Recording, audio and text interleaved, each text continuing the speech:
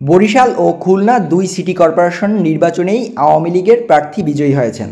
বরিশালে নৌকা প্রতীক নিয়ে বেসরকারি ফলাফলে আবুর খায়ের আবদুল্লাহ পেয়েছেন ছিয়াশি হাজার সাতশো বাউন্ন ভোট।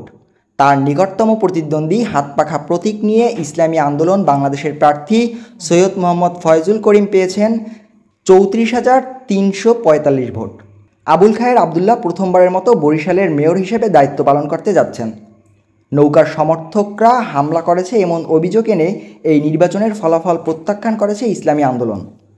খুলনা সিটি কর্পোরেশনে বেসরকারি ফলাফলে মেয়র নির্বাচিত হয়েছেন আওয়ামী লীগ প্রার্থী তালুকদার আব্দুল খালেক।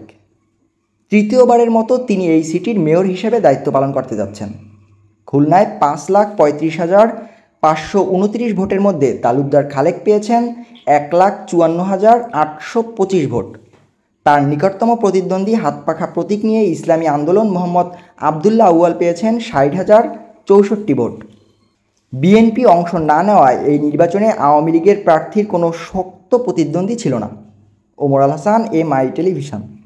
Barishal ও খুলনা দুই সিটি কর্পোরেশন নির্বাচনেই আওয়ামী লীগের প্রার্থী বিজয়ী হয়েছেন।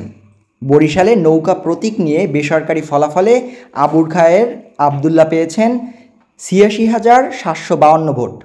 তার নিকটতম প্রতিদ্বন্দ্বী হাতপাখা প্রতীক নিয়ে ইসলামী আন্দোলন বাংলাদেশের প্রার্থী সৈয়দ মোহাম্মদ ফয়জুল করিম পেয়েছেন চৌত্রিশ হাজার তিনশো পঁয়তাল্লিশ ভোট।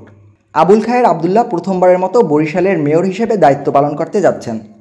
নৌকার সমর্থকরা হামলা করেছে এমন অভিযোগ এনে এই নির্বাচনের ফলাফল প্রত্যাখ্যান করেছে ইসলামী আন্দোলন।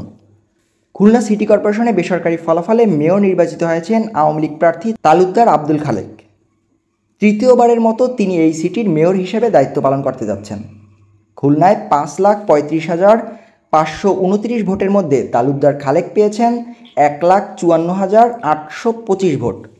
তার নিকটতম প্রতিদ্বন্দ্বী হাতপাখা প্রতীক নিয়ে ইসলামী আন্দোলন মোহাম্মদ আবদুল্লাহ আউয়াল পেয়েছেন ষাট হাজার চৌষট্টি ভোট। বিএনপি অংশ না নেওয়ায় এই নির্বাচনে আওয়ামী লীগের প্রার্থীর কোনো শক্ত প্রতিদ্বন্দ্বী ছিল না। Omar Al Hasan M I television.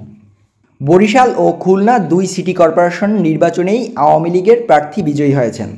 বরিশালে নৌকা প্রতীক নিয়ে বেসরকারি ফলাফলে আবুর খায়ের আবদুল্লাহ পেয়েছেন ছিয়াশি হাজার সাতশো বাউন্ন ভোট। তার নিকটতম প্রতিদ্বন্দ্বী হাতপাখা প্রতীক নিয়ে ইসলামী আন্দোলন বাংলাদেশের প্রার্থী সৈয়দ মোহাম্মদ ফয়জুল করিম পেয়েছেন চৌত্রিশ হাজার তিনশো পঁয়তাল্লিশ ভোট। আবুল খায়ের আবদুল্লাহ প্রথমবারের মতো বরিশালের মেয়র হিসেবে দায়িত্ব পালন করতে যাচ্ছেন। নৌকার সমর্থকরা হামলা করেছে এমন অভিযোগ এনে এই নির্বাচনের ফলাফল প্রত্যাখ্যান করেছে ইসলামী আন্দোলন। খুলনা সিটি কর্পোরেশনে বেসরকারি ফলাফলে মেয়র নির্বাচিত হয়েছেন আওয়ামী লীগ প্রার্থী তালুকদার আব্দুল খালেক। তৃতীয়বারের মতো তিনি এই সিটির মেয়র হিসেবে দায়িত্ব পালন করতে যাচ্ছেন।